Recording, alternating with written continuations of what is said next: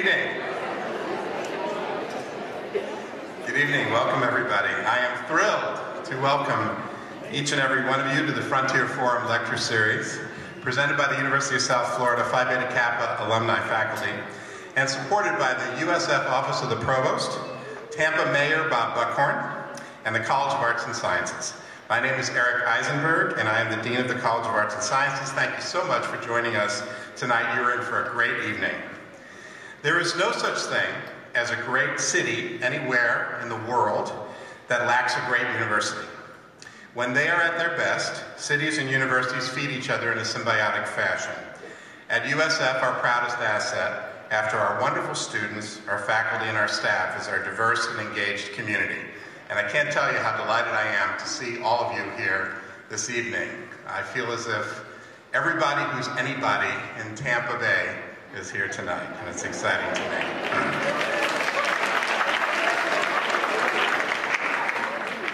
I love this city, I just have to tell you that. At each of these Frontier Forum events, I'm proud to declare that in all aspects of what we do at USF, in our teaching and our research and our service, we are no ivory tower. We work in close partnership with our community. And for this reason, the University of South Florida was singled out and has been singled out year after year by the Carnegie Foundation for our commitment to community engagement. Many of you read the New York Times, I know, and a recent op-ed column in that newspaper by Nicholas Kristof was entitled Professors, We Need You. Uh, those of you who are faculty in the audience know that that's not something we hear a lot, and it was really kind of touching. I almost didn't want to read the rest of the article. But in it, he underscored the importance of university faculty sharing their research achievements with their communities. And this is something we take very seriously at, at USF. It's part of our, our DNA. And the College of Arts and Sciences, my college, is fortunate to have numerous examples of faculty who are transforming lives, understanding global change, strengthening communities, and revolutionizing education. Uh, since I have the microphone in front of me, give me a minute to brag. Dr. Les Shaw in our Department of Cell Biology is transforming lives by studying some of the world's deadliest diseases, such as MRSA, and is on a mission to find life-saving drugs to combat these superbugs in hospitals.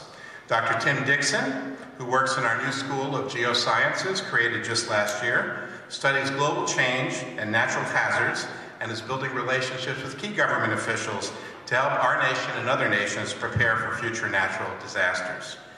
Dr. Erin Kimmerle and her team of forensic anthropologists and archaeologists continue to receive national attention and praise for their dedication to unlocking the mystery of the Dozier School for Boys and are seeking to give numerous families closure for their tragic experiences.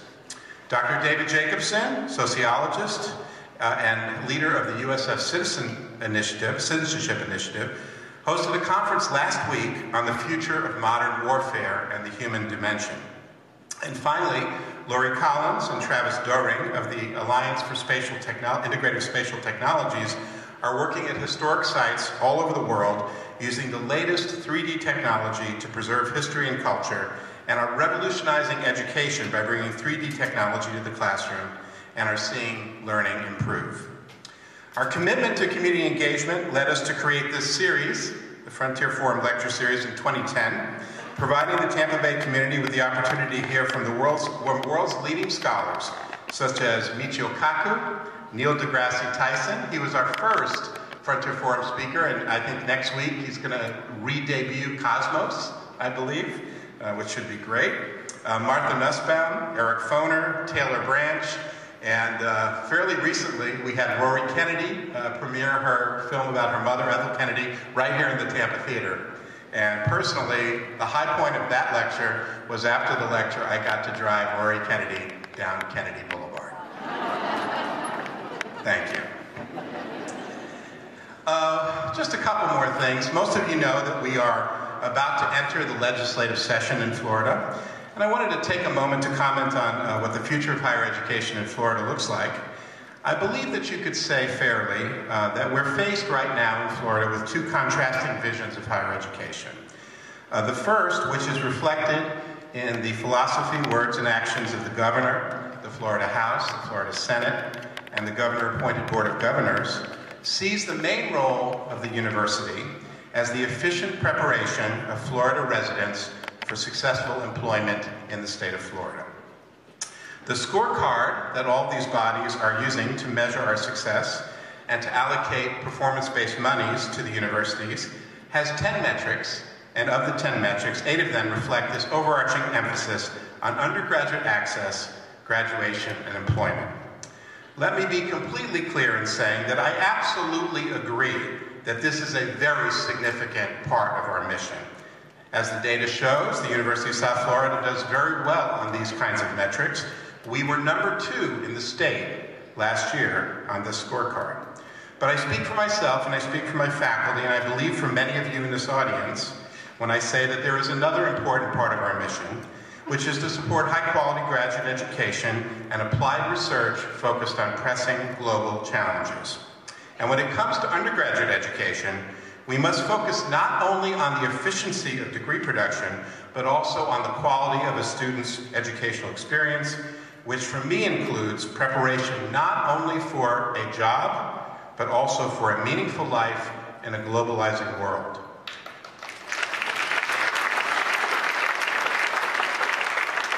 I had a feeling some of you agreed with me on that one. When it comes to research and scholarship, the quality of life of our community is greatly enhanced by faculty and graduate students conducting cutting-edge research. So this second vision of, of higher education in Florida includes both the idea of efficient degree production in preparation for a career and also a vibrant commitment to applied research, graduate education, and scholarship. The reason I bring this up tonight is because it has everything to do with this evening's topic, the value of the arts in society. It is my deep pleasure to introduce you to Robert Edsel. A former nationally ranked tennis player and pioneering oil man, Robert Edsel is recognized today as one of the world's foremost advocates for art preservation. While living in Florence, Edsel began a journey to discover how so many monuments and great works of art survived the thefts and devastation of World War II. This impassioned journey culminated in Edsel's New York Times best-selling book, The Monuments Men, Allied Heroes, Nazi Thieves, and the Greatest Treasure Hunt in History. Edsel has dedicated the last 10 years of his life to the meticulous research on the Monuments Men, the unsung heroes who saved the world's greatest art and cultural treasures for the benefit of civilization. George Clooney wrote, directed, and stars in the film adaptation which opened earlier this year. Robert Edsel is also the author of two other best-selling books, Rescuing Da Vinci and Saving Italy, as well as the producer of the documentary The Rape of Europa, all of which continue the narrative of the Monuments Men through a series of compelling stories and photographs. Edsel is also the founder and president of the Monuments Men Foundation for the Preservation of Art. Today, Edsel is recognized for continuing the mission of the Monuments Men and bringing their brave actions and heroic sacrifices to the cultural forefront. Robert Edsel calls on us to boldly explore the question, is art worth a life? I'd like to finally say that if you have a question for Robert Edsel, please tweet us at USF College. Those of you who know what I'm talking about. or post to our Facebook discussion at facebook.com slash USF College, probably the same people who know how to tweet. We have a team of interns that is monitoring our social media during Mr. Edsel's talk, and we will ask Mr. Edsel as many questions as we can following his presentation. Please give a warm USF Tampa welcome to Robert Edsel.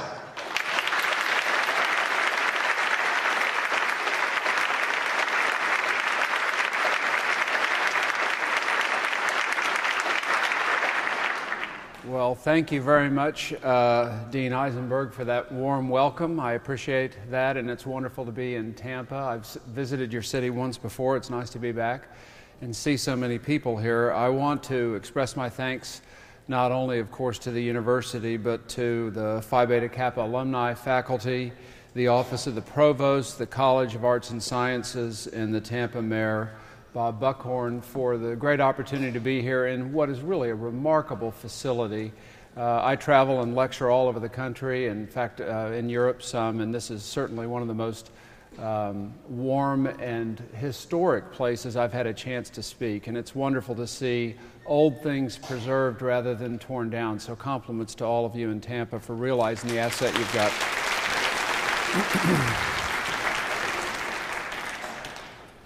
One of the um, great pleasures that I have in traveling around the country and speaking to such large audiences is the opportunity to do what we don't do enough of, and that's say thank you to all of our uh, veterans and those with military service. Would you stand so we can thank you for your service to our nation?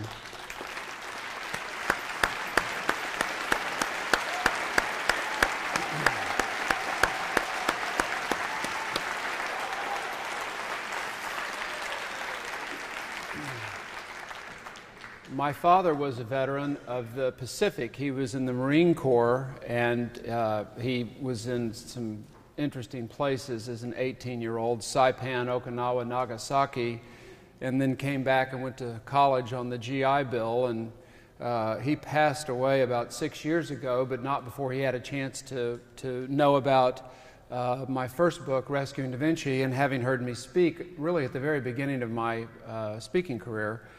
And uh, he had an occasion where some of his friends came up to him and said, Ray, how is it your boy is able to go give these lectures and he never uses any notes? And my dad said, Well, Robert's like that college professor that used to travel around the country giving lectures on nuclear energy. And my dad's friends looked at him and said, Well, Ray, we're not familiar with that story. And he said, Oh, you know this story. This professor traveled around the country. He was terrified of flying, so he had a chauffeur in a car and it drove him from place to place. And he got back in the car one day, and the chauffeur said, Well, Professor, how did it go? And the professor said, It went great. They always go great. In fact, you've heard this lecture so many times, you could probably give it. And the chauffeur muttered under his breath, I think I probably could. And the professor said, Well, I'll tell you what, tomorrow night when we pull up We'll stop in the parking lot. You put on my overcoat. I'll put on your chauffeur cap and go stand in the back, and you give the lecture. And the chauffeur thought about it for a minute and said, I'll tell you what, I'll take you up on it. So they arrived at the auditorium the next evening out in the parking lot, make the exchange of gear. Professor puts the chauffeur cap on and goes and stands in the back. The chauffeur walks up to the lectern and proceeds to give this lecture about nuclear energy without air. And he's so proud of himself, getting ready to walk down the steps, and this young fellow in the front row stands up, jumping up and down, waving his hand, and says, Professor, Professor, I have one question. I've just got to ask you. I have listened intently to your lecture. It's fascinating, but I don't understand the difference between fission and fusion. And he thought for a minute and said, You know, I've traveled all over this country giving this lecture to thousands of people, and that has to be the dumbest question I've ever heard. In fact, that question's so simple, my chauffeur could answer it.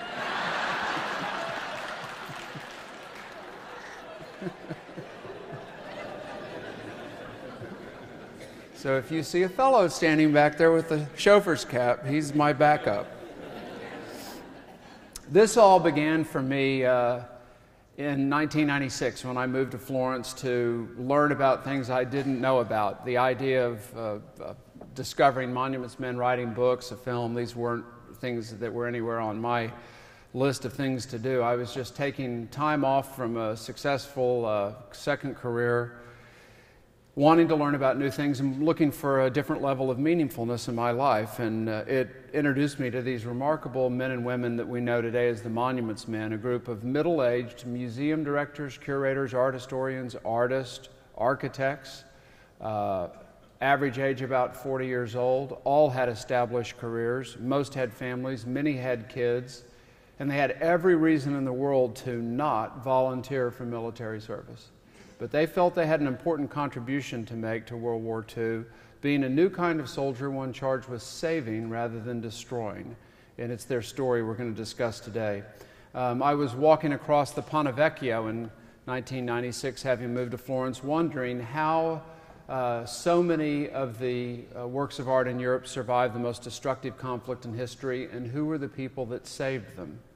And uh, it was ironic that I was standing on this bridge because it was the only one of the city's bridges that was not destroyed by the Nazis when they fled in 1944. And it led me to the work that has now consumed the last 15 years of my life, and I want to share with you just a brief oversight.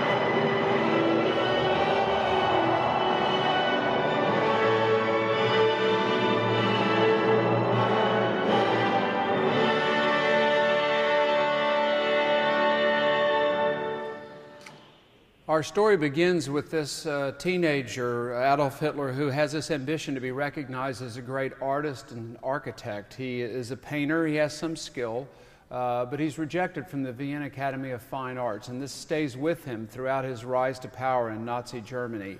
Uh, when he does reach power, art becomes a weapon of propaganda. He removes some 16,000 major works from German museums, which he considers degenerate, painters uh, by, such as Van Gogh. And some of these works are sold, many are more destroyed, really uh, wrecking Germany's reputation around the world as a leader in, in the arts.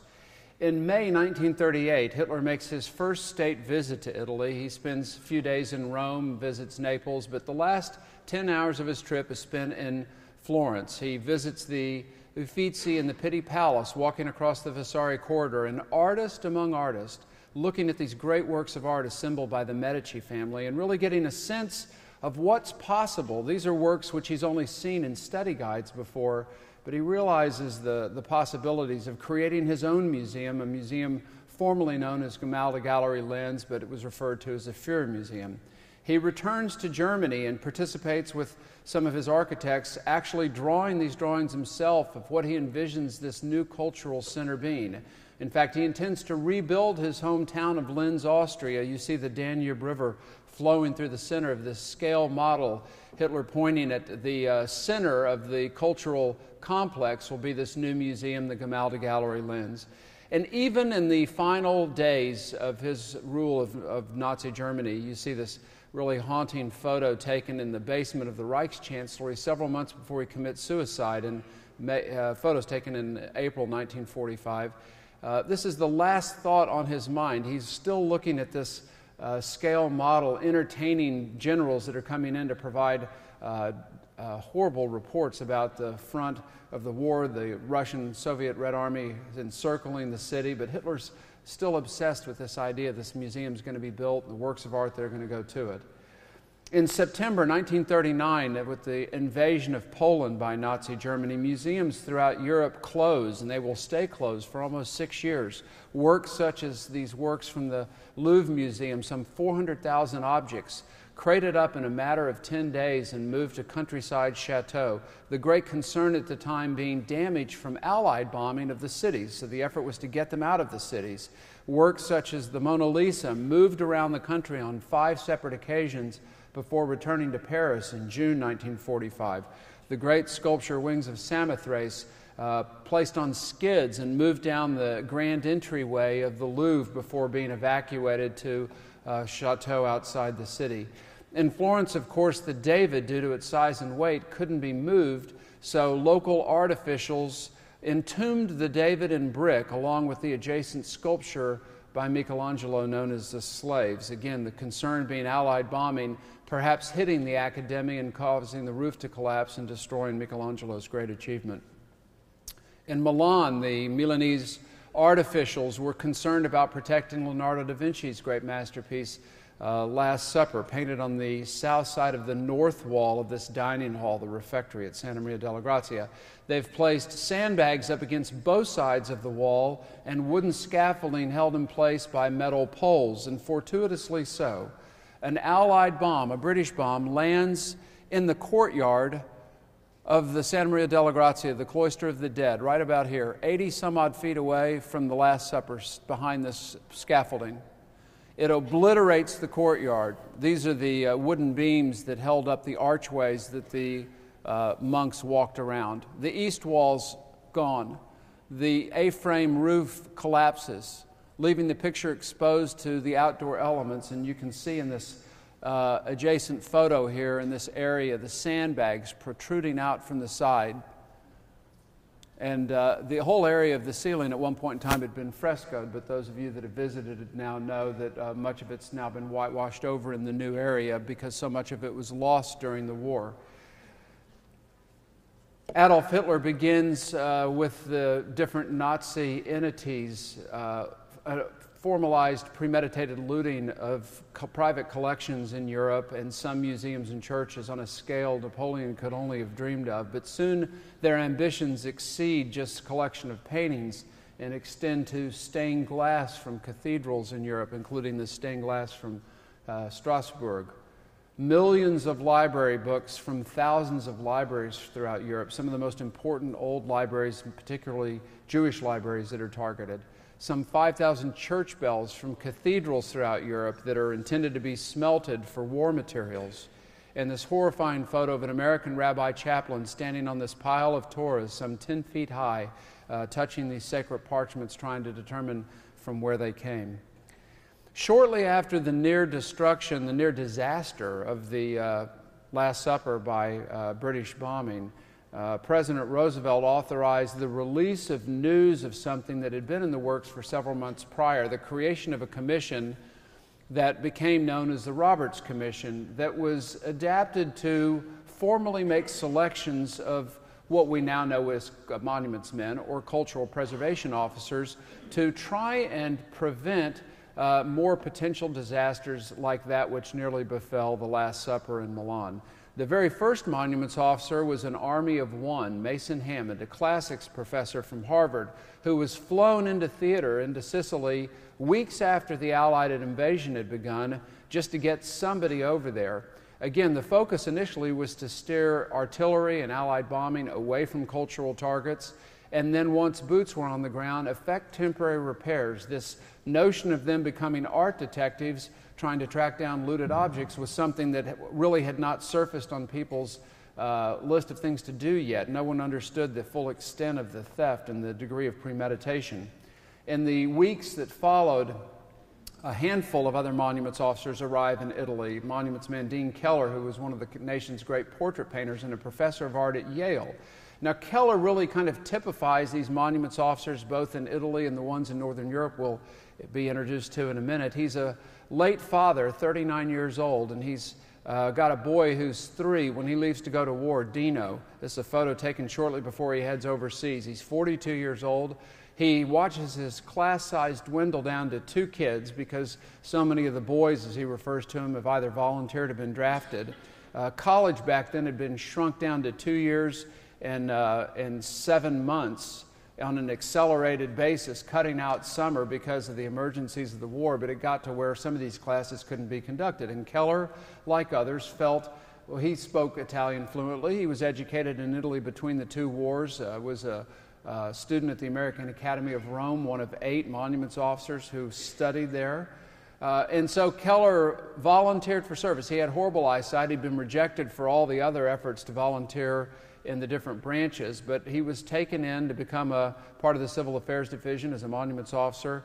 And it was very painful for him to go overseas because he left behind, as these other monuments officers did, a wife, a son he wouldn't see. He wasn't sure he'd see him again. It'd be three years before he'd see him. He'd miss his fourth, fifth, and sixth birthdays.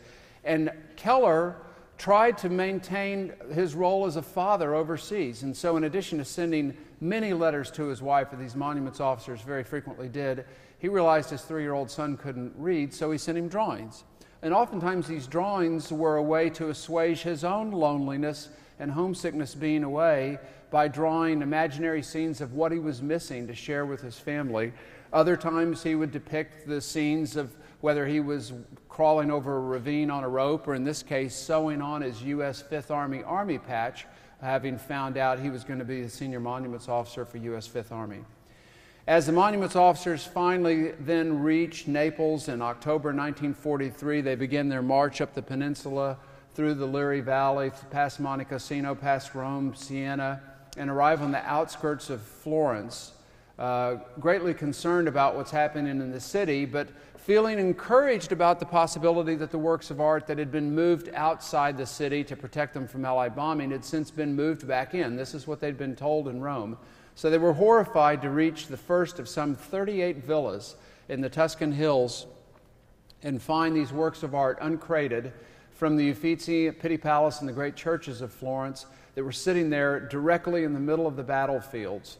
And even more frustrating for them was that they could only access a couple of these villas because most of them were behind enemy lines and in the direct path of, uh, of the ground combat. And we speak not of minor works of art. You all are familiar, I'm sure, with Botticelli's Primavera and Deane Keller standing next to that, just one of hundreds of paintings and sculpture that were found. Their concern about the events in Florence uh, proved Uh, correct. This was the scene by the time they arrived in mid August 1944. All of the city's bridges, save the Ponte Vecchio, having been blown on the instructions of Hitler and Field Marshal uh, Kesselring in an effort to impede the Allied advance. This is the first time the city's been reconnected north south uh, in some time. This drawing actually is quite instructional. It was prepared by one of the monuments officers after the war. Uh, let me get everybody oriented. First of all, how many people in here have been to Florence? All right, I see about seven people that haven't. we should take up an offering, I think. Well, let me reacquaint you all with the city that you know. I lived there for five years. Uh, you can see the uh, Ponte Vecchio here, the Arno River here, and this is the location of the mothership. This is the Ferragamo store. Now, those of you that have had too much Ferragamo may be familiar with Harry's bar down here. So that gives you a sense. So everything that's in black represents something that was obliterated, not damaged, but rubble piles 30 feet high. And this was the prime real estate of Florence from the 13th century all the way up until, well, to, to, today. But it was the residential area that everybody went to go live. And it's where the great medieval towers were built that always defined the city. And in an effort to impede the Allied advance, Hitler was convinced, in his view, the Ponte Vecchio was the most important bridge in the city, even though it had already been destroyed several times previously, including by flood and would not listen to those that told him, including German scholars, that the Ponte Santa Trinita, designed by Ammannati off of influence by Michelangelo, was the far greater. And so this was spared, but in an effort to impede the advance, there were excessive charges placed on both sides of the Arno uh, to try and destroy the passageways. That lasted less than 24 hours. There were Bailey bridges that were put up but it left a horrible scar on the city that uh, we still live with today. And this gives you a sense of what it looked like. This is a photo taken several weeks after, uh, and you can see the 30 foot high path where they've carved out a path for uh, construction workers to get in there, but the rubble pile is about 30 feet. The sawtooth remains of uh, towers, what few are left. Damage to the Vasari corridor, the Uffizis right here, the Pitti Palace is up here uh, not a shard of glass in any of these buildings.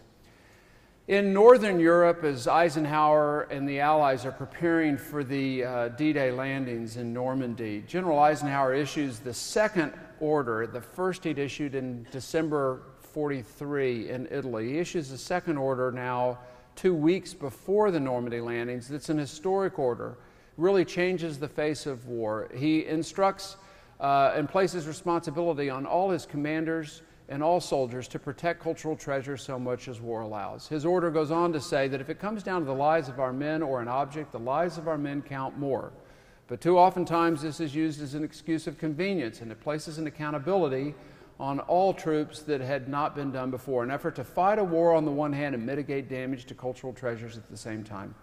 And this is really the idea of this man, George Stout, who's a pioneer in the conservation of works of art He's old enough, he'd fought in the last year of World War I. He was convinced there would be a Second World War. Before Pearl Harbor, he starts assembling pamphlets about how to protect cultural treasures during combat and is ready once Pearl Harbor takes place and uh, attends and arranges a meeting at the Metropolitan Museum of Art a few weeks after Pearl Harbor. The great concern among museum directors across the country who assembled there being largely the same as. Uh, following September 11th, the threat of Japanese bombing of the West Coast, uh, German or invasion, German bombing of the East Coast, and so the initial focus is how to protect works of art in the United States museums. But quickly, as happened in 9/11, those concerns faded, and the reality sunk in that uh, the United States was going to be involved in another war and have to go back to Europe.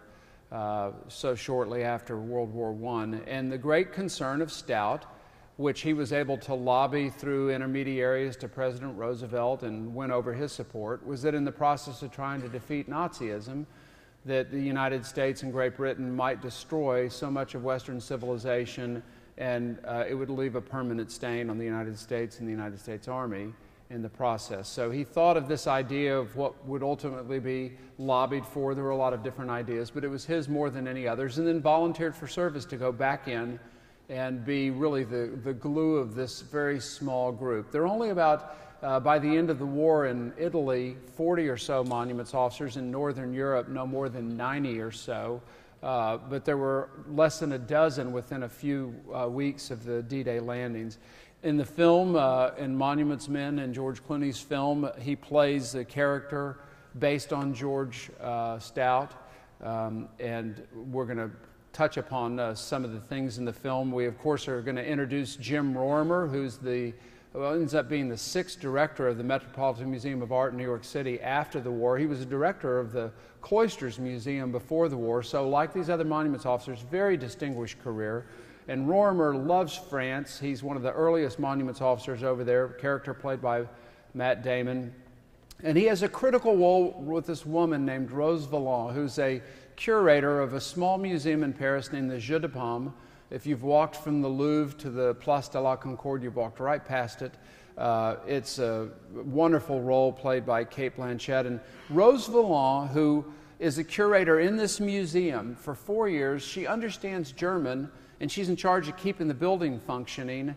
And German, the Nazis are using this as the central clearing place for all the works of art stolen from collectors in France, in particular, so many of whom are Jews, both Jewish collectors and Jewish dealers. And tens of thousands of works of art are funneled through this facility. And unbeknownst to them, she's making notes, secret entries on backs of envelopes, uh, notebook uh, covers, and taking these things home at night, digging through trash cans. A remarkable, steel willed woman that is almost caught twice. Had she been caught, she would have been shot. One time they had her, but she managed to talk her way out of it. And she's there these 20 times that the German Reichsmarshal, number two man in the Nazi Party, Hermann Goering, arrives to look at the works of art that have been assembled and make selections for those that are going to go into his collection and those that, of course, have to go to the Fuhrer. 20 separate visits over a couple year period. Champagne on the table, cigar in his hand, looking at these two paintings stolen from uh, great dealers by Matisse.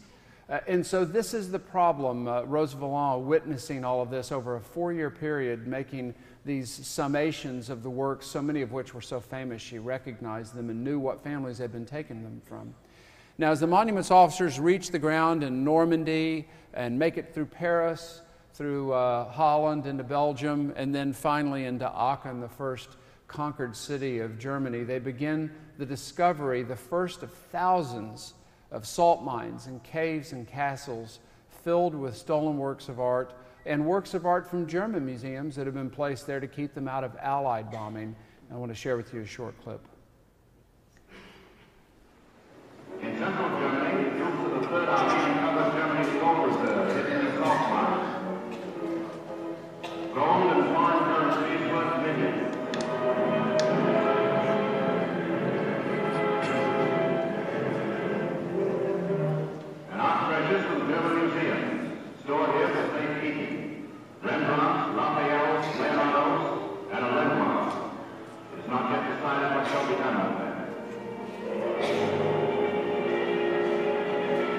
And in fact, what's found in this salt mine in Merkers is uh, essentially a discovery of Fort Knox. Uh, the, all the gold currency, foreign currency, coins, etc., of the German Reichsbank that have been hidden there to get them out of Berlin, some $5 billion worth of, uh, of gold at today's values, and thousands of works of art from the German museums. Any of you that have visited Museum Island, all those paintings and sculpture that you're seeing there today, this is where much of it had been hidden by German museum curators to get it outside of the devastated city. So, this discovery is so extraordinary that the news reaches General Eisenhower, and he and Patton and General Bradley uh, make the decision to go into Germany. Uh, into Merkers on April 12th. There's still about three more weeks before the war's over to see this for themselves. They see, of course, the, the uh, gold and uh, the paintings. They also see chests filled with gold fillings and silverware taken from Jews that has not been uh, melted down yet. And that afternoon, they go on to Ohrdruf, which is the first work camp liberated by American forces. And then that evening, as they uh, finish dinner, they go back to their mess tents, and General Patton notices his watch has stopped, and he checks the BBC, and they learn for the first time of the news of President Roosevelt's death earlier that day. An amazing day, April 12th. The uh, next major discovery takes place at a castle in Bavaria. Thank you so much.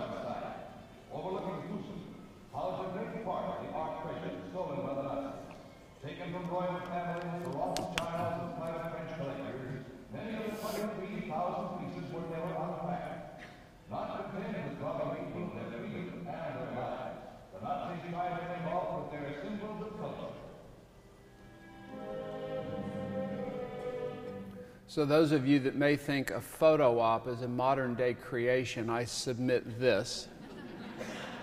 There's some 21,000 stolen art objects from French collectors inside this castle, along with the documents which evidence so much of the theft found by the monuments officers that were later used at the Nuremberg trials to evidence the portion, uh, to evidence the, the looting in that portion of the trial. You see Rorimer standing there with this notepad uh, and observing these soldiers carrying these works of art down, but they knew to go there because of the information gathered by Rose Valland. Rorimer arrives in Paris. Valland has been suspected as being a collaborator that she's managed to survive working with these Germans for four years. But the, uh, her boss, the head of the Louvre, advises Rorimer that she's been working there under his direction and that her information is extensive and so extensive he's asked that she not even give it to him because no one knows who to trust. And it begins a dance that between the four uh, between the two of them that lasts some four or five months between Valland and Rorimer where she forces him to earn her trust she, her loyalty is to the great works of art. And she works with this American officer to give him the information, which essentially is the treasure map. She knows where these works of art are and it enables him to get there and find them. But she uh, is really uh, considered a traitor by many in her country for not working with the French army because she, her loyalty was to the works of art. She believed the American army, and quite rightly so, would be the first to get to Germany, and that's who she worked with. Rose Valland was tireless. She spent her entire life trying to track down works of art that had been stolen until 1981, never received the recognition that was due. And it's one of the things we're very, very excited about with this film and the presence of Jean Dujardin in our film, that people in France are going to know about this remarkable heroine of World War II. In Italy, about this same time, in late April, early May 1945, Deane Keller and Fred Hartt, uh, the two lead monuments officers who I tell their story in Saving Italy, my most recent book, uh, are in desperate search to find some 800 masterworks taken by the German forces as they're fleeing north of Florence from these very same villas that were behind enemy lines. Uh, and they get a tip in the uh, early days of May that they are located in two hiding places in the northern part of Italy, one in a jail cell.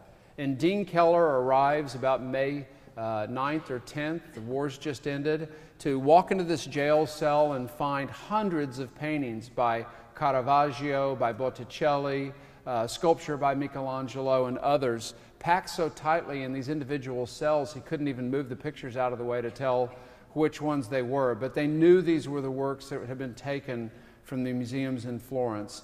And they included, as I mentioned, uh, Michelangelo's sculpture of Bacchus, Donatello's sculpture of St. George, this great painting by Botticelli, and two masterpieces by the German painter Cranach that Hitler had so greatly admired on his two visits to Florence in 1938 and 1940.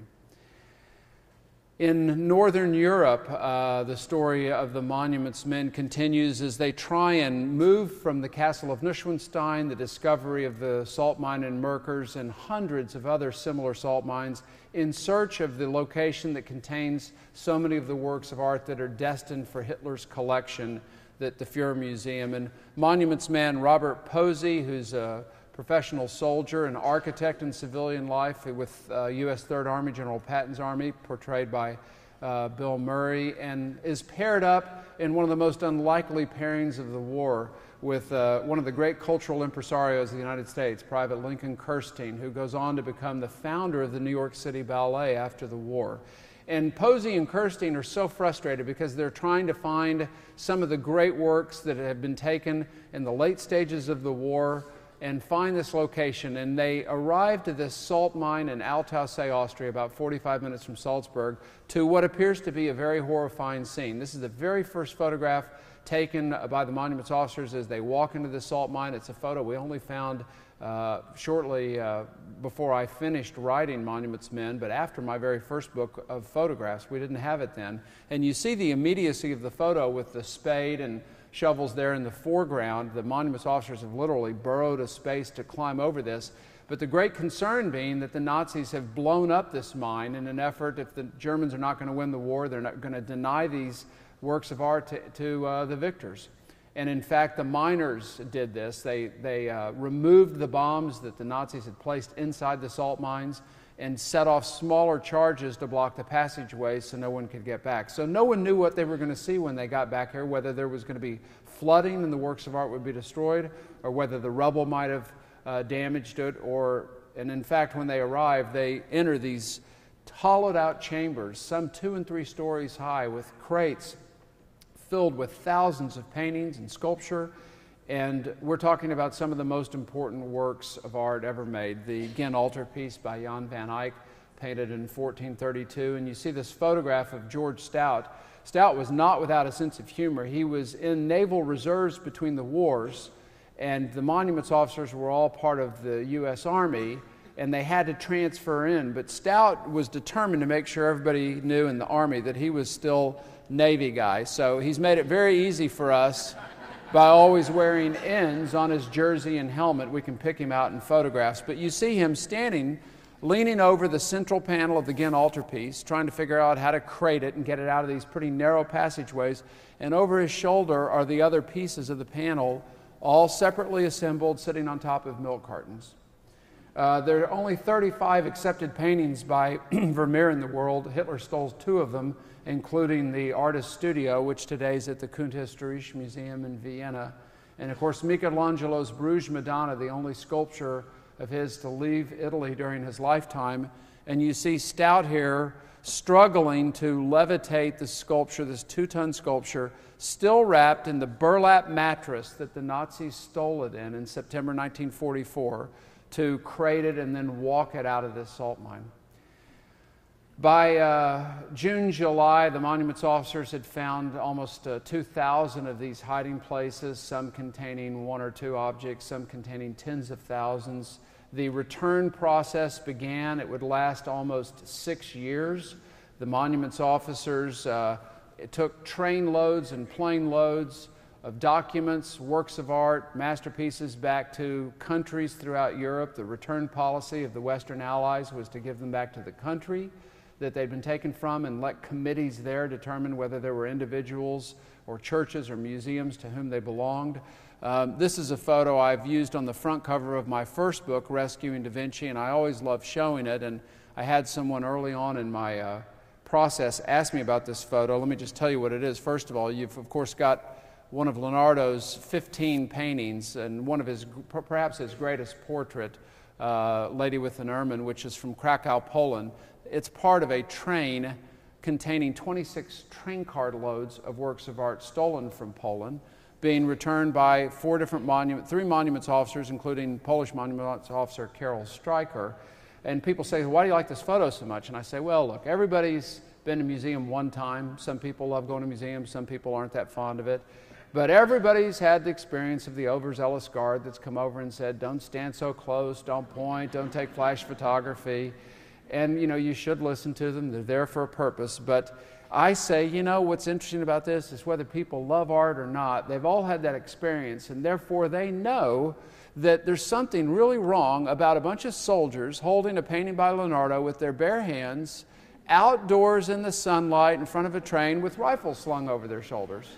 And this is how it went with some 5 million cultural objects the monuments officers returned by 1951 when their work ended and they came home. Five million stolen objects, about four million stolen, one million belonging to German museums. Now, lest you think that these men were sitting in an office somewhere telling people what to do, uh, two monuments officers were killed during combat. Uh, on the right, uh, Major Ron Balfour, who was a British monu- mon- monuments officer, killed in March 1945, and uh, Walter Huchthausen from Perry, Oklahoma, on the left, killed in April 1945, both working on relocating works of art that had been stolen to areas of safety. Uh, and this was two monuments officers out of about 100 or so that were in the field at the time, so a pretty high um, loss there. And uh, those are two of the monuments officers that didn't come home at the end of the war. It led me over the course of the years of my work to ask uh, each of the 17 monuments officers I interviewed. There are now five still living. I've attended the memorial service of several of them. And one of those that's still with us, Bernie Taper, who's 94. He lives in Berkeley, California. I asked uh, the question, as I did all of them, is art worth a life? And this was Bernie's answer. I remember having a very boozy discussion with, Stuart Leonard in a Berlin apartment one night. Which is a more valuable, work of art or a human life? And I was saying human being, and he was saying liberal that's what I know you, and I know And I said, well, would you give your life to save Chartres Cathedral? And he said, sure. And then he said, and actually I had that me because there were bombs placed on Chartres Cathedral, but uh, I, as the bomb disposal expert, we came into and I was the one that had, to take human disposal. Um, uh, he, he wanted his argument that way. Uh, traveling as much as I do, I have a chance to uh, visit with these monuments officers from time to time when I'm back out. And I saw Bernie several years ago and asked him the same question as Art with a Life. And he looked at me and said, Is there something wrong with your memory? I told you the answer to that. I said, Well, tell me again. He said, No, I told it to you. It was this Berlin apartment, boozy conversation. I said, Yeah, yeah, I remember all that. And then he said, You know, and Stuart Leonard said to me, There's one good thing about being in the bomb disposal unit. And I said, Wait a minute, I didn't hear anything about that. And he said, Yeah, yeah, I told you that. Tell me again. Well, Stuart said there's one good thing about being in the bomb disposal unit. And I said, What in the world could that be? And he said, Well, you never have a superior officer looking over your shoulder.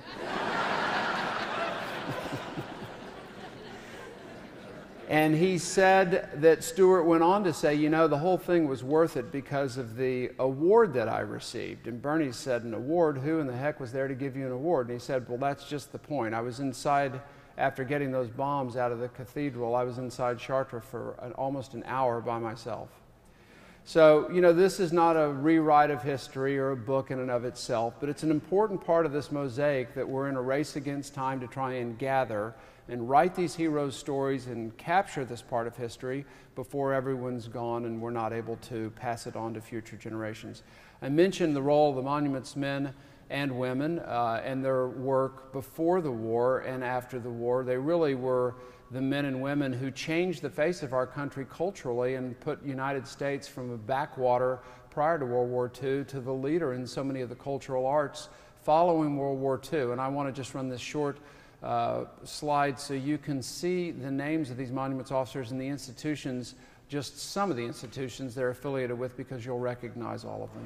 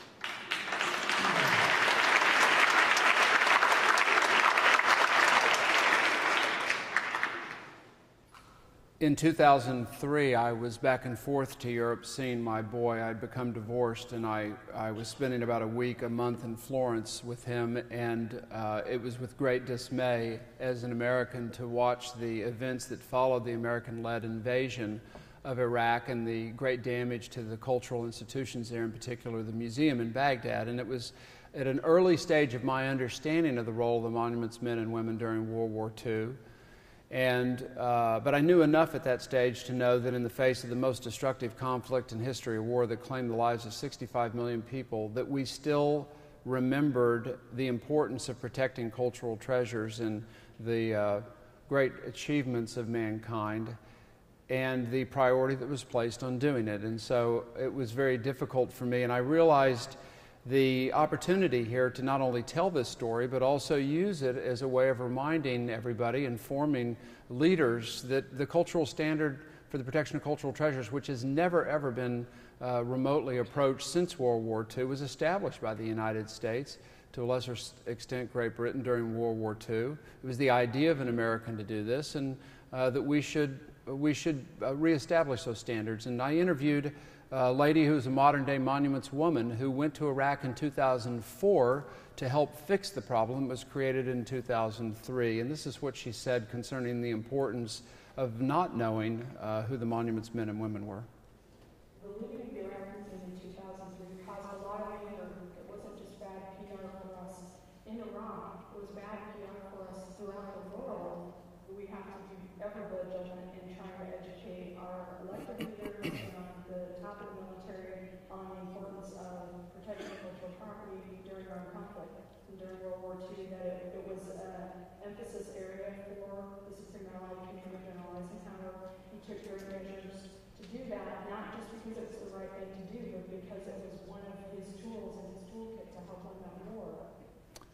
And as you all know, uh, as we all painfully know, these issues of protection of cultural treasures that may be in a different country halfway across the world, but they belong to all of us, are under threat every day. Uh, last April in Syria, in Aleppo, this 10th century minaret was blasted.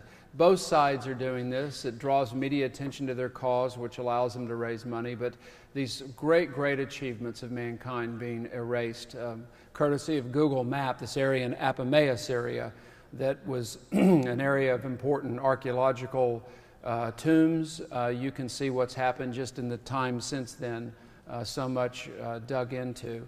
So these are the reasons why I created the Monuments Men Foundation was to not only honor these men and women's service, they'd never been recognized by the United States until we uh, started pushing in that direction, uh, but also reestablish the high standard for the protection of cultural treasures during war. And I want to share with you this short clip about the work of the foundation.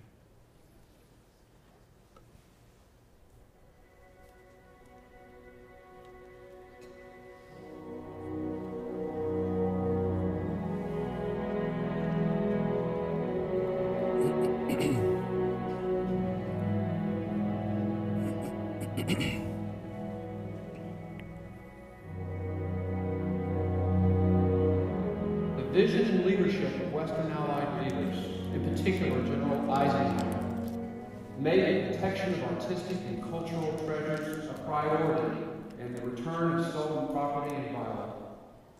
The monuments men were the people who implemented and effected that policy. Their legacy is rich and filled with incredible examples of how to protect cultural treasures from armed conflict. But their legacy has been all but lost. We as a nation pay a high price for not having preserved and utilized that legacy. Time is running out.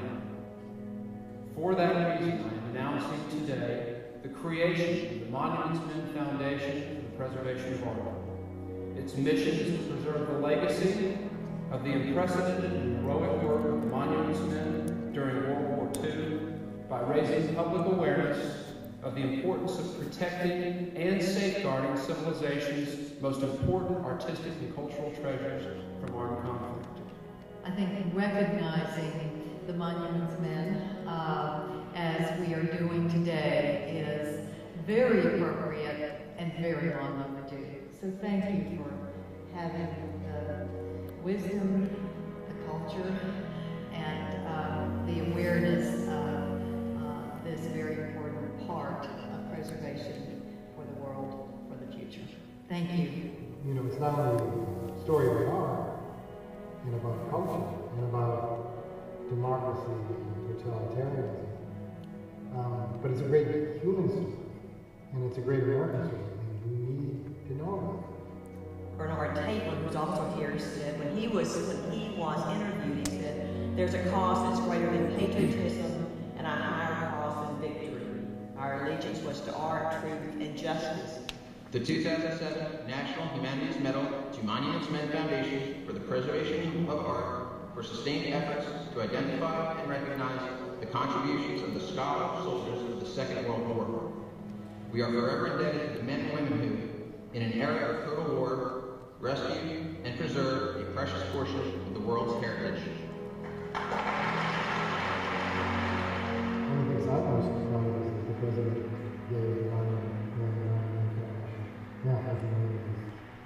the medal last year, In addition to completing our research on these men and women, the Foundation will promote and support educational programs about the monuments men and their work in schools and universities. I think that it's fair to say that this material is one of the most significant finds related to Hitler's premeditated theft of other cultural treasures to be found since the Nuremberg trials. It is exciting to know that original documents shedding light on this important aspect of World War II are still being located, especially so because of the hundreds of thousands of still missing cultural items stolen from victims of Hitler and the Nazis. Documents such as these may play a role to solve some of these mysteries and, more importantly, in helping victims recover their treasures. The National Archives is grateful to Mr. Edsel and Monuments and Foundation for today's donation. We appeal to people of goodwill from everywhere to join us in celebrating these great heroes in the most appropriate manner possible. Preserve and utilize their legacy. Thank you. Thank you for what you did. Thank you for coming to be part of this and telling this story. Thank you so much. Thank you, sir. Let us announce again and again and again to the people of the world that their culture will be cherished as long as they respect the culture of others. God bless. God bless America.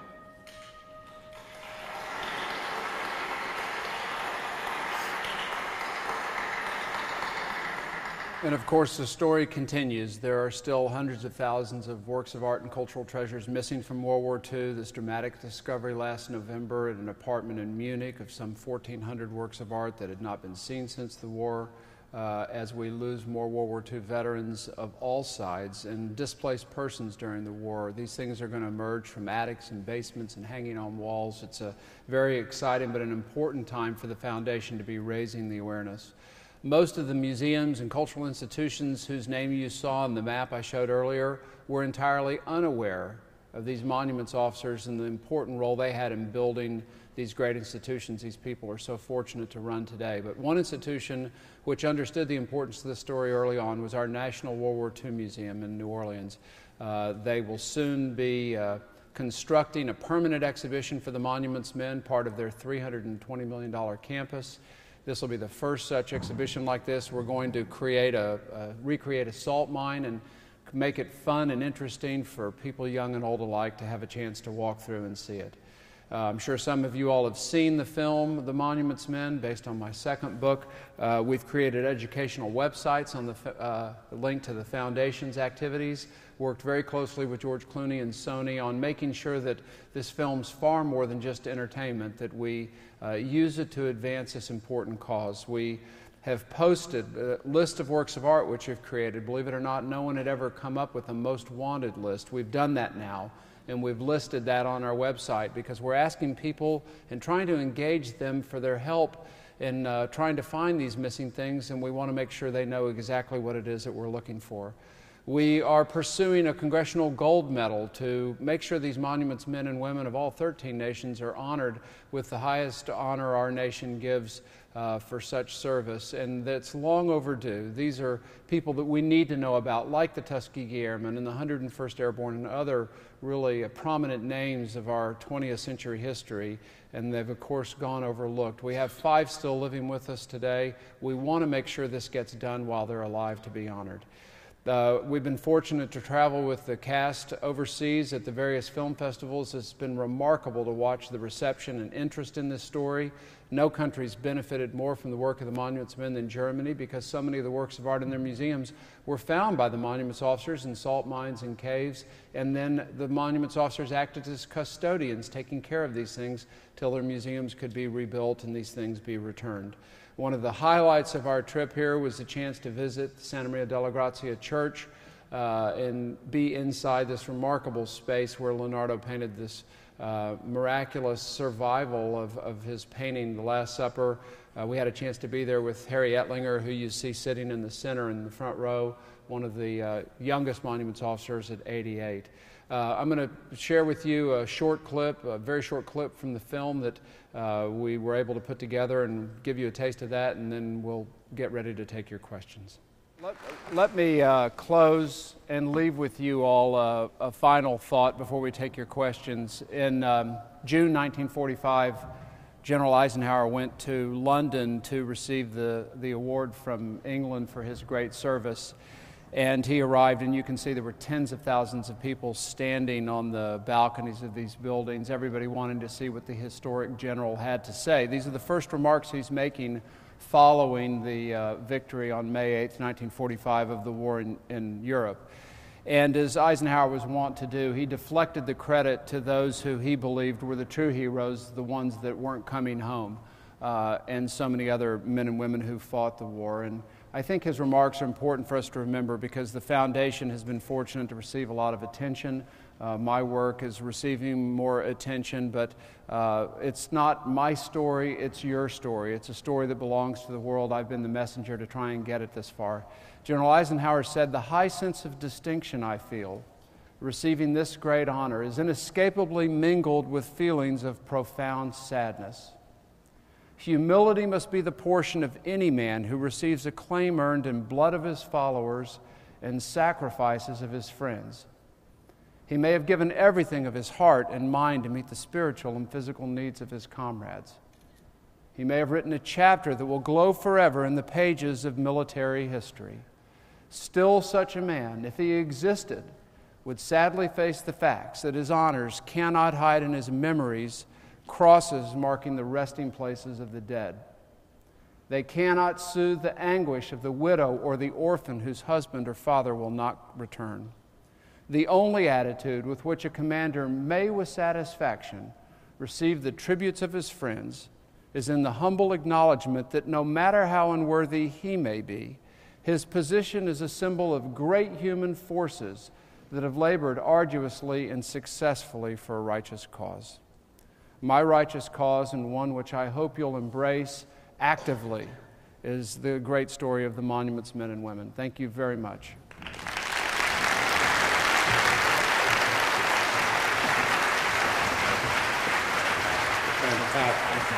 They're going to bring us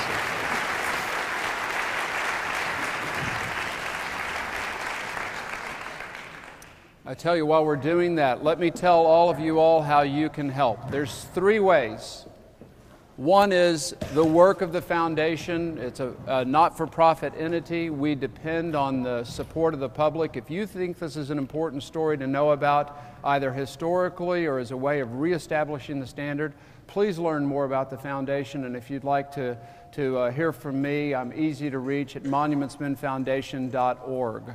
The second way is to voice your support. This Congressional Gold Medal is before both houses of, the, of Congress. It's a very difficult medal to obtain. You have to have two thirds support of both houses.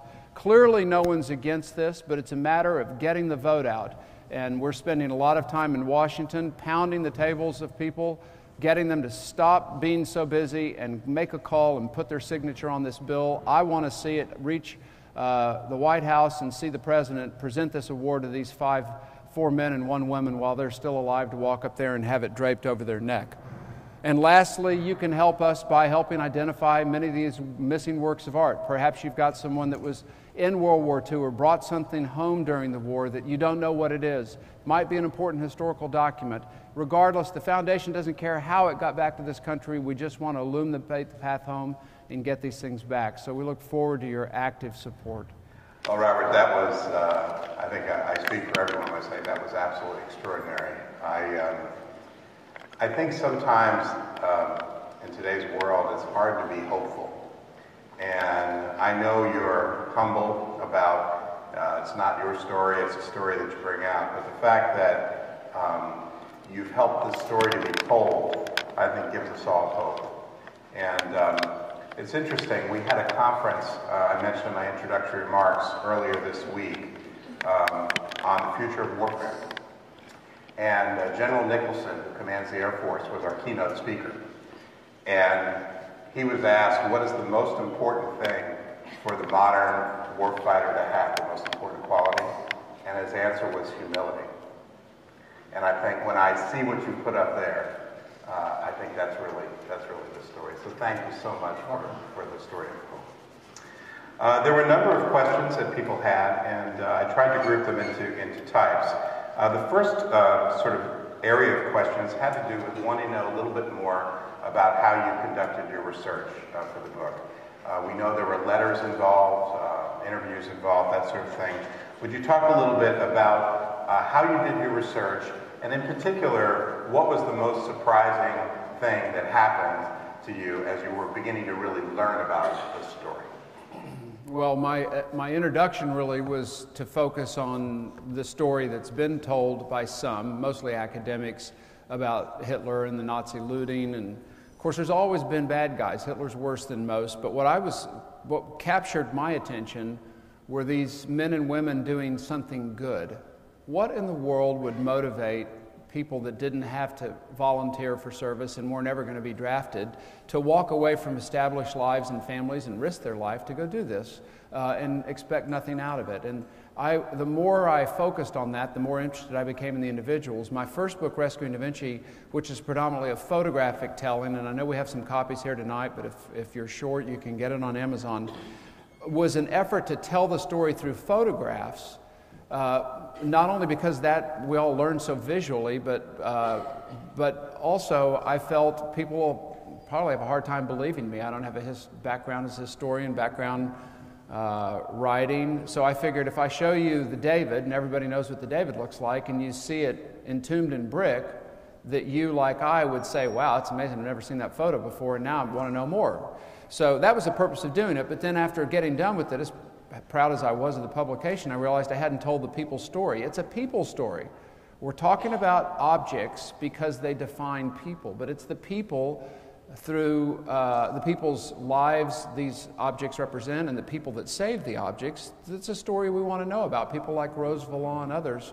And so, not only were we digging through archives, but of course, trying to track down living monuments, men and women, family members, uh, so, so much of the research that was required to tell the story using their words required us to do a lot of primary research that's really the living, breathing element of what we're doing. And that research continues to this day. It's, it is one of the reasons I travel so much because there's everything we need to know about writing the biographies and completing them on all 350 or so monuments, men and women uh, or any of the evidence. It's all out there with the public. It's just that they don't know that we want it and they don't know what they know.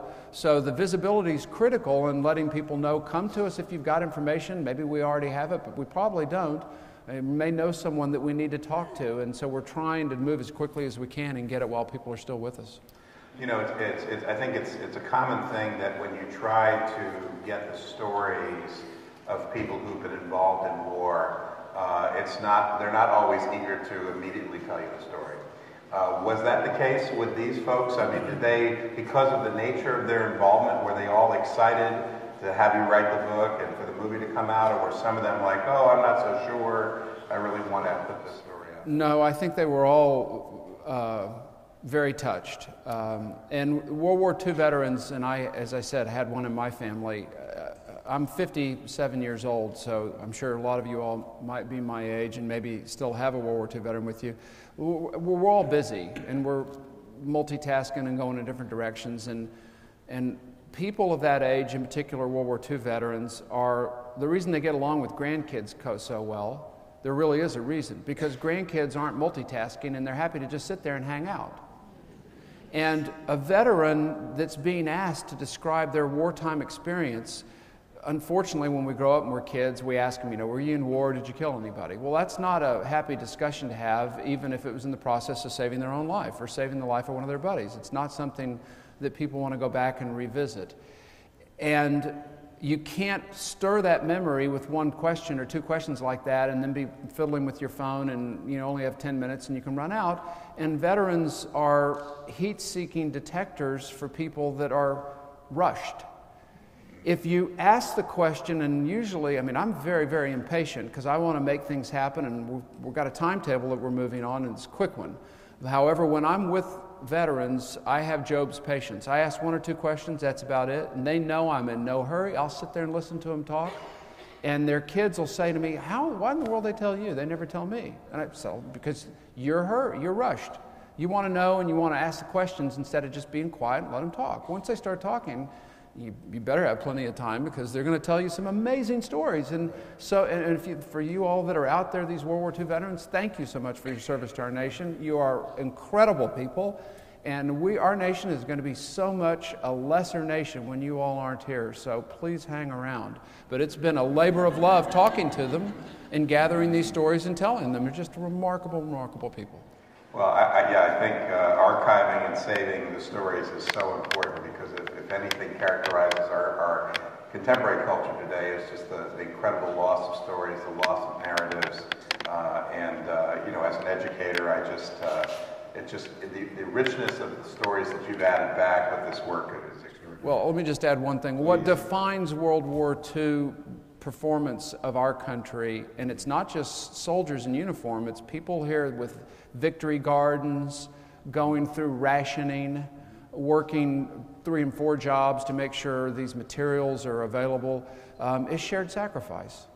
And that's what we're missing today is that sense of shared where we're all in it together. And that's the power of this story is we're telling a story that's fascinating and interesting. The film's entertaining. It's engaging. It's a period, it's an epic period of World War II most of us don't know anything about, which is hard to believe these many years later but it's also instructional for us. And that's why it's so much uh, joy for all of us with the foundation to go tell these hero stories because it's a way for us to get reminded about what made us so great and work so well. Robert, would you talk just a little bit about your own journey? Some people were curious about your background in terms of going from being a business person and a tennis player and getting involved in this? Was there a epiphany, a, a, turning point where you suddenly decided, when you talked about second career, maybe this is a third career. Could you just give us a little bit of that? well, my first ambition was to be a professional tennis player, and I had that from the time I was eight or nine up until 21. And I, I was a good player. I played some professional qualifying tournaments, but I realized I couldn't be great, and that was important to me. And I had a very hard time letting go of it because I had established this identity where Robert Edsel tennis, tennis Robert Edsel. And uh, it was a grieving process to let go of it because I didn't know who, who am I going to be now. I finished uh, college. I w- didn't have a great college experience. So I clearly should have come to University of South Florida. I'm glad you said yeah. Uh, so I was rushing to get somewhere, but I didn't know where. I, I, took the first job that was offered to me. I didn't know anything about oil and gas, but I worked for a guy that turned out to be somewhat of an apprenticeship and learned about it. Started my own company was I was 24, and uh, worked like crazy. A lot of sacrifices and a lot of risk taking. And by the time I was 39, I, I'd had a successful company, but I was not finding it meaningful because I didn't get into it for the money. Um, and I was not hugely ahead, but I was a little bit ahead. I was able to find jobs for all my employees, and I thought 39 can become 59 with the snap of the finger. And for me, I wanted to, to, and I wasn't spending time with my son who was two years old, and I couldn't see it getting better. Everyone said, No, you, next thing to do now is have a public company. You'll make a lot more money. And I said, Well, that's not why I got in it in the first place. And I don't really see the difference between having started something from scratch and having a successful company with 100 employees and having a successful company with 10,000 employees. That ain't going to be on my tombstone. Who cares? I mean, I did it from nothing, and that's the achievement. It's enough for me, and now I want to see what else I can do. So, breaking free of the gravitational pull of life is one of the most difficult things you'll ever do if you try and do that. We have friendships, we have families, we have relationships, we have commitments. And, and in a way, not through anybody's fault, none of those things want to let you go to go do that. That's why I'm always encouraging college age kids take time off while you're going to college, travel around the world, learn other languages, see different cultures, because you have an easier time doing it now and it sticks in your mind. It's harder to do when you get older. I went to Florence. Uh, we traveled through Europe, settled in Florence. I started studying art and architecture. I was reading about 10 books a week. You can read a lot if you don't start at 11 o'clock at night. Um, and, um, and so I was on a convergence I couldn't see of reading and started reading about things about World War II. And then I had this, if there was an epiphany, it was asking this question how did these things survive? Who saved it? What, while I'm studying art and architecture and then living in Italy er, or Europe for five years, in a way, I was kind of building a CV to be the messenger, teller, teller of this story, but I had no way I could see it at the time.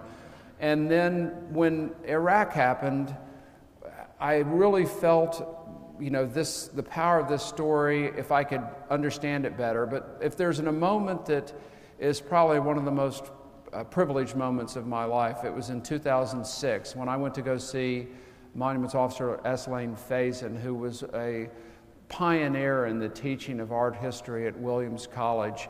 At one point in time, several years ago, there were five American museum directors who were students of his at Williams, including our current director at the National Gallery of Art in Washington, Rusty Powell.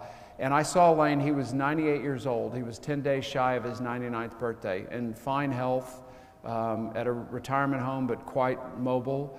And I, his sons, has four boys, they all said, Pop may not be able to stay awake more than 30 minutes, so don't be disappointed. Well, he was awake for four hours. I kid you not. And we were flipping through the first book of photographs. That's the only book I had. And he was remembering the names of unidentified soldier. He was correcting me on the pronunciation of certain things, ever the professor. And as I got ready to leave, I shook his hand and he pulled me all the way up to him and said, I've been waiting to meet you all my life. Now, I left there and went to several other uh, engagements I had, and my right hand person, Christy Fox, called me 10 days later to tell me that Lane had died. And it was Veterans Day. And what I didn't know and wouldn't know until I went back up to Williams in December to go to the memorial service, his four boys took me aside and said, I said, What in the world happened? He seemed so fine. And they said he was. But after he met you, he called us all in the next day.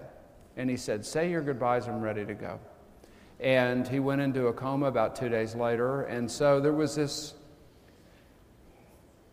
It took me a while to see this. It took me a few months afterwards, but it was like an anointing. And I could see then that he had the ability somehow to tell how passionate I was about this, to now tell the individual stories. And in a way, he'd hung around long enough to let me know that. So it's a, he's a remar- he was a remarkable guy. And really, that was the key at that point in time. The events following Iraq, but not necessarily seeing the path. And then Lane Faison saying this to me, it was, I mean, I had, for all the disappointments and frustrations and sacrifices over the last 10 years, and there have been a lot of them, uh, travel schedule high on the list, I've never doubted that I'm supposed to be doing exactly what I'm doing right now, and it's because of experiences like that. That's extraordinary. Thank you. Thank you.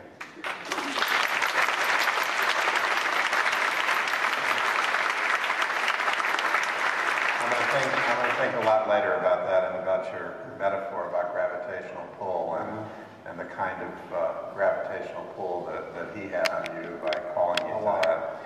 Uh, most of the questions, sir, I'm sorry to say, or happy to say, have to do about the relationship between the book and you and the movie. and uh, so some of the questions were, uh, what was your role in the making of the film? How much of the film, a film reflected actual fact as opposed to the usual Hollywood story? Why were some of the names changed in the movie? Why didn't they use the real names? And anything else you might like to tell us about George Clooney. All right. well, let me start with two very important things. First of all, George is every bit, if not more handsome than you think he is. And uh, more. smart too, sir? Yeah, he's smart. And uh, yeah, well, Matt Damon says something very funny about George. He says, you know, when God was making people, he decided, you know, let's depart from the usual plan of giving everybody one or two skills and just give a whole bunch of them to George and see how it works out.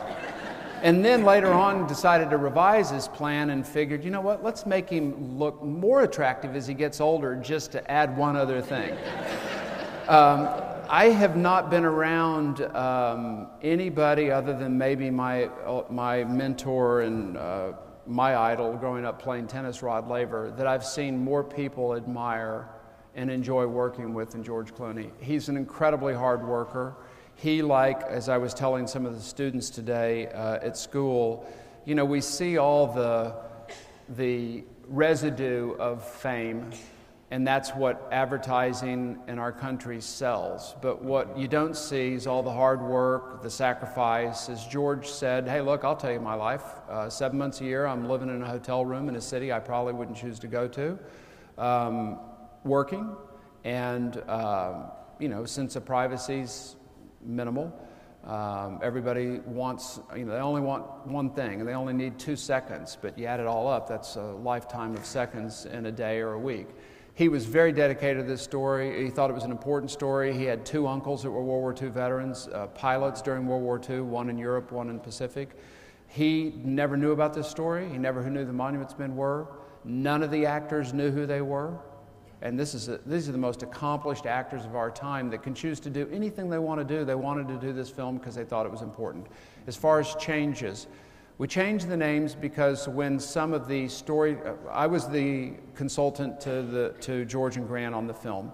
I went out to California the, in uh, early 2012 and spent a week with them doing what Grant Heslov, George's partner, referred to as brain dump where they tried to get everything out of my head that they could get, and they finally like gave up on the fourth day. yeah, they tried to download me, and so I guess I had to keep me around because that wasn't successful. But it was a wonderful collaboration and an and an otherworldly experience for an author. Again, I don't really see myself as that as much as I do a messenger. And they wanted me to be involved. So I looked at the script. I tried to always show them look, this is the fair way. You can get as far in the margins and the rough as you want to, but you need to know where the center of the fairway is. Um, the names were changed because they wanted to, as George referred to it, give some of the characters flaws for storytelling purposes, which is fine with me.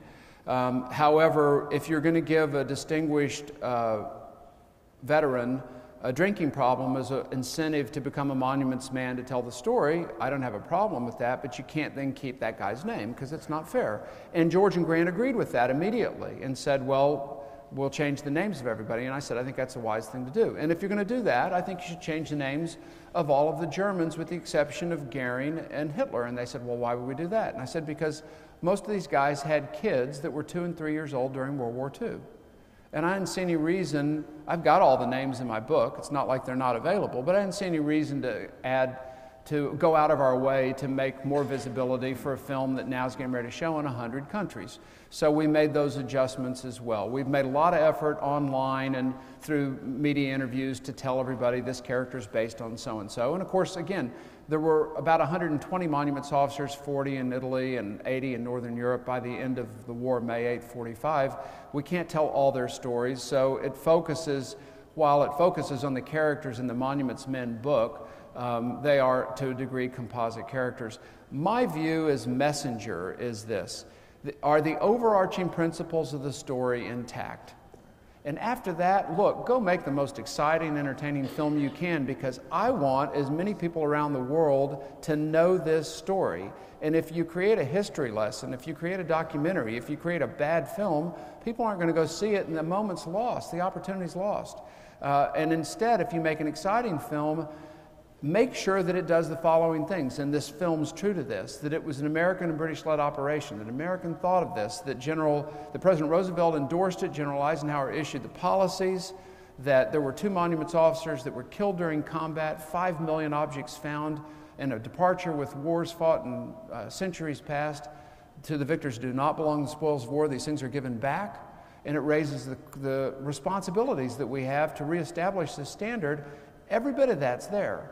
Which, whether the same thing happened in the mine in the film that happened in the mine in the book, or where the Russians were as close as they appeared at the end of the film, those to me are irrelevant issues because I'm focused on the big picture and they're the storytellers on film. And so I think for those of you that haven't seen the film, you're in for an exciting time. It's an amazing score. And if you want to know all the gory details, please, by all means, it's in there in Monuments Men, and you can learn as much as you want to know about it. That's fantastic.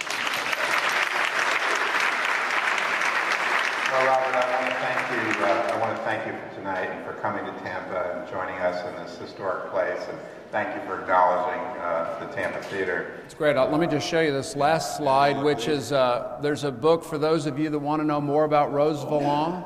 We have uh, we've uh, published a book about her. It's only in an ebook format, but it's uh, really the best telling of her whole life story. And I've written a forward to it. We feel so strongly about this great heroine. And for all you women that have put up with us guys going to World War II movies for decades, Rose Valland is your heroine. She's a reason to see this film and see Cate Blanchett's performance and then learn more about her. Okay, thank you. Thank you very much. Thank you.